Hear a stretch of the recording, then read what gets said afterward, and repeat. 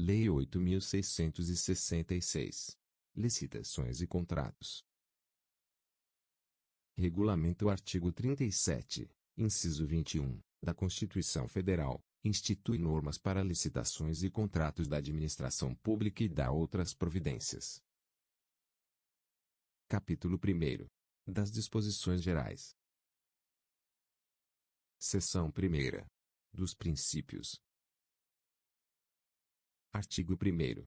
Esta lei estabelece normas gerais sobre licitações e contratos administrativos pertinentes a obras, serviços, inclusive de publicidade, compras, alienações e locações no âmbito dos poderes da União, dos Estados, do Distrito Federal e dos municípios. Parágrafo único. Subordinam-se ao regime desta lei, além dos órgãos da administração direta, os fundos especiais, as autarquias, as fundações públicas, as empresas públicas, as sociedades de economia mista e demais entidades controladas direta ou indiretamente pela União, Estados, Distrito Federal e municípios. Artigo 2 As obras, serviços, inclusive de publicidade, compras, alienações, concessões, permissões e locações da administração pública, quando contratadas com terceiros, serão necessariamente precedidas de licitação, ressalvadas as hipóteses previstas nesta lei. Parágrafo único. Para os fins desta lei, considera-se contrato todo e qualquer ajuste entre órgãos ou entidades da administração pública e particulares, em que haja um acordo de vontades para a formação de vínculo e a estipulação de obrigações recíprocas, seja qual for a denominação utilizada. Artigo 3 A licitação destina-se a garantir a observância do princípio constitucional da isonomia, a seleção da proposta mais vantajosa para a administração e a promoção do desenvolvimento nacional sustentável e será processada e julgada em estrita conformidade com os princípios básicos da legalidade, da impessoalidade, da moralidade, da igualdade, da publicidade, da probidade administrativa, da vinculação ao instrumento convocatório, do julgamento objetivo e dos que lhes são correlatos. Parágrafo 1. É vedado aos agentes públicos. Inciso 1.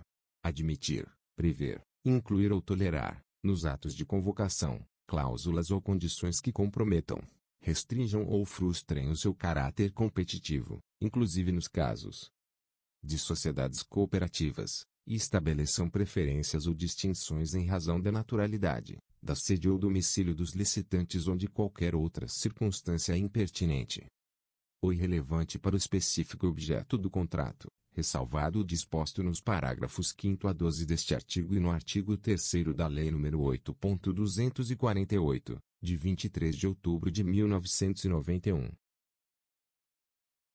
Inciso 2 Estabelecer tratamento diferenciado de natureza comercial, legal, trabalhista, previdenciária ou qualquer outra, entre empresas brasileiras e estrangeiras, inclusive no que se refere à moeda, modalidade e local de pagamentos, mesmo quando envolvidos financiamentos de agências internacionais, ressalvado o disposto no parágrafo seguinte no artigo 3 da Lei nº 8.248, de 23 de outubro de 1991.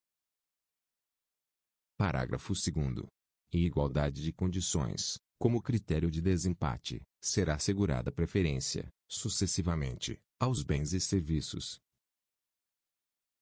Primeiro. Revogado. Inciso 2 Produzidos no país. Inciso 3 Produzidos ou prestados por empresas brasileiras. Inciso 4 produzidos ou prestados por empresas que investam em pesquisa e no desenvolvimento de tecnologia no país.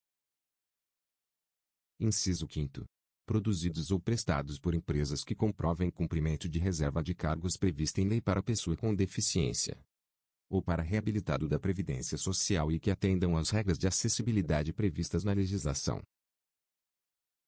Parágrafo 3 A licitação não será sigilosa, sendo públicos e acessíveis ao público os atos de seu procedimento, salvo quanto ao conteúdo das propostas, até a respectiva abertura. Parágrafo 4 Vetado. Parágrafo 5 Nos processos de licitação, poderá ser estabelecida a margem de preferência para Inciso 1 produtos manufaturados e para serviços nacionais que atendam a normas técnicas brasileiras, é.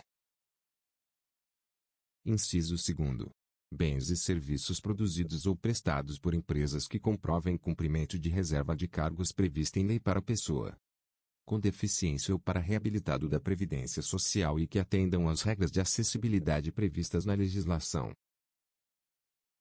Parágrafo 6 a margem de preferência de que trata o parágrafo 5 será estabelecida com base em estudos revistos periodicamente, em prazo não superior a cinco anos, que levem em consideração.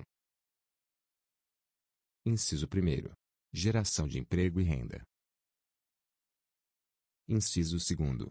É feito na arrecadação de tributos federais, estaduais e municipais. Inciso 3 desenvolvimento e inovação tecnológica realizados no país. Inciso 4. Custo adicional dos produtos e serviços, é. Inciso 5. Em suas revisões, análise retrospectiva de resultados. Parágrafo 7 para os produtos manufaturados e serviços nacionais resultantes de desenvolvimento e inovação tecnológica realizados no país, poderá ser estabelecido margem de preferência adicional àquela prevista no parágrafo 5 Parágrafo 8 As margens de preferência por produto, serviço, grupo de produtos ou grupo de serviços, a que se referem os parágrafos 5 e 7 serão definidas pelo Poder Executivo Federal, não podendo a soma delas ultrapassar o montante de 25% sobre o preço dos produtos manufaturados e serviços estrangeiros. Parágrafo 9. As disposições contidas nos parágrafos 5 e 7 deste artigo não se aplicam aos bens e aos serviços cuja capacidade de produção ou prestação no país seja inferior. Inciso 1. A quantidade a ser adquirida ou contratada, ou. Inciso 2. Ao quantitativo fixado com fundamento no parágrafo 7 do artigo 23 desta lei, quando for o caso. Parágrafo 10.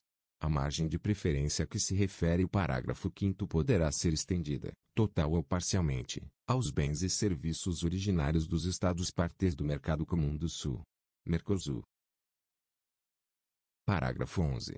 Os editais de licitação para contratação de bens, serviços e obras poderão, mediante prévia justificativa da autoridade competente, exigir que o contratado promova, em favor de órgão ou entidade integrante da administração pública ou daqueles por ela indicados a partir de processo isonômico, medidas de compensação comercial, industrial, tecnológica ou acesso a condições vantajosas de financiamento, cumulativamente ou não, na forma estabelecida pelo Poder Executivo Federal. Parágrafo 12. Nas contratações destinadas à implantação, manutenção e ao aperfeiçoamento dos sistemas de tecnologia de informação e comunicação, considerados estratégicos em ato do Poder Executivo Federal.